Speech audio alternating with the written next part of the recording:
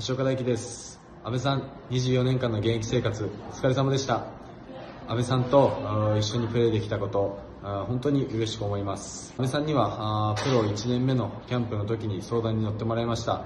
その時の言葉今でも忘れません。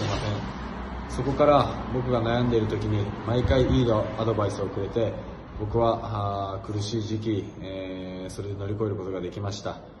えー、安倍さんみたいに、えー、みんなから尊敬されるような選手になれるように僕も頑張ります、えー、最後に本当に、えー、現役生活24年間お疲れ様でした。僕が日本に、えー、帰った際にはご飯連れてってください。